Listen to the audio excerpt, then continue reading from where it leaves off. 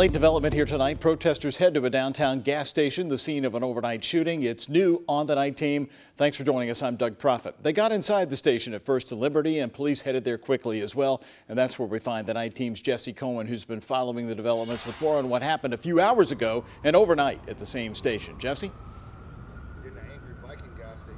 Well, Doug, the scene that you see just behind me here is very different than what it looked like just about an hour ago. As you can see, they have closed this gas station. All the lights are off, but there is still a small LMPD police presence right outside of Bader's here at First and Liberty. But like I said, this looks very different than what it did just about an hour ago when we got here, when protesters were outside speaking with police. We took some video that we're going to show you right now of what that looked like just about an hour ago. Police got here relatively quickly and we were watching a Facebook Live just as they were getting here. We saw the protesters enter the convenience store right before their arrival, and we saw some products being thrown on the ground by some of those protesters. In the end, it did end up being a small group standing outside on the sidewalk talking to police, and they did leave peacefully heading back towards 6th and Jefferson. But it was just a few hours ago that some of the protesters I spoke with told me there was a chance that they would come back here at the same scene that there was a shooting just late last night. An argument that ends in gunshots. This surveillance video shows a man in the doorway of Bader's Food Mart arguing with an employee inside. You can't see the employee, but police say he's the man inside shooting at the victim with a rifle. Like me looking at this store right now, you know what I'm saying? I just I feel some type of way.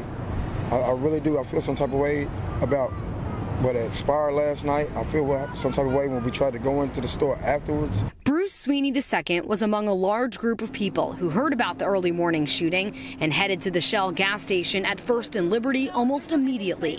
So when I get here, I see a man behind the cash register with a assault rifle. Sitting there. Montez Jones says when they arrived, there were no police in sight, just a staff member behind the counter, still serving customers. This is a whole cashier.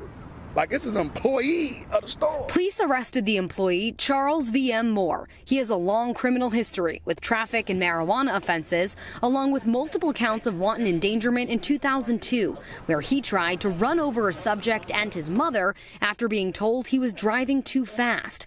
Both Sweeney and Jones tell us they knew the victim that wound up going to the hospital before police showed up. He didn't want to die, so he drives himself. Uh, somebody drove, I don't know who it was, they drove him to the to, you know, to get some help. For his neck. Just about a month ago, an employee at the same store was shot several times during a robbery. It's got to stop together. And Sweeney says after spending almost 100 days fighting for justice and equality in Louisville, last night's shooting is yet another reminder of why things need to change. It could have been me. It really could have been me. For the night team, I'm Jesse Cohen.